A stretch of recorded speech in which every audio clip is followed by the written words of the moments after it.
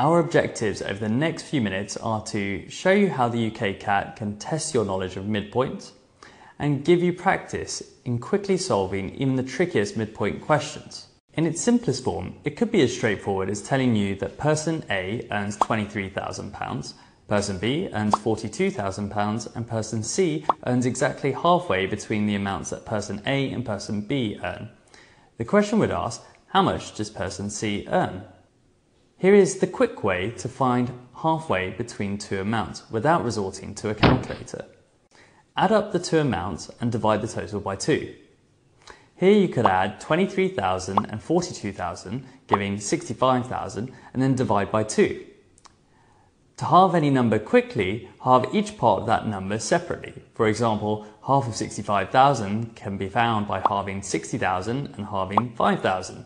This gives you 30,000 and 2,500 respectively. This adds up to 32,500. We can confidently say that 32,500 is exactly halfway between 23,000 and 42,000. If you did want to use a calculator, you could shorten the £23,000 and £42,000 into 23 and 42. You would then add these, getting 65, and divide by 2 to get 32.5. This represents £32,500, which is person C's salary. I know what you're thinking, that's a great shortcut, but would it really be that easy? Let's try a question that is more typical of what you would see in the UCAT exam. It's a little bit more tricky than what I just showed you, but you can totally do it.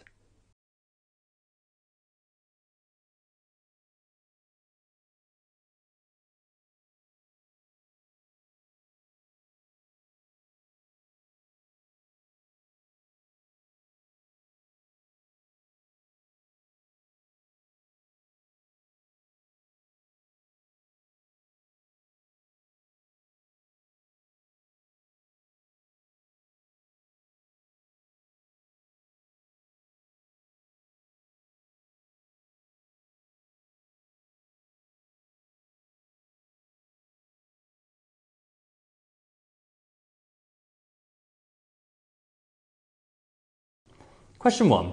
The life expectancy of a macaw is halfway between the life expectancy of a polar bear and the life expectancy of a captive Galapagos tortoise.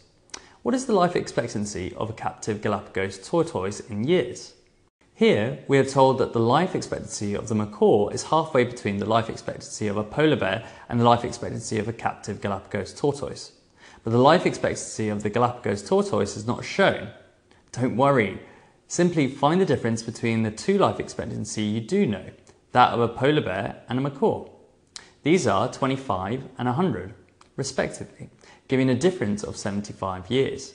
If the macaw, which has a life expectancy of 100 years, is the midpoint, this is what we should add this difference onto. 100 plus 75 equals 175. The Galapagos tortoise must have a life expectancy of 175 years, which was answer choice D. A little bit trickier, right? The key thing is to be familiar with these questions. Most students will already have the math skills required to answer this, but the practice a question like this is giving you can be invaluable in saving you time as well as surprise in a test. Even better, you can check if you are solving the question in the fastest possible way. That concludes another UCAT lesson.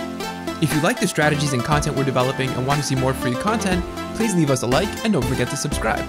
If you have any UCAT questions, leave us a comment below and we'll help you sort it out and get your preparation up to speed.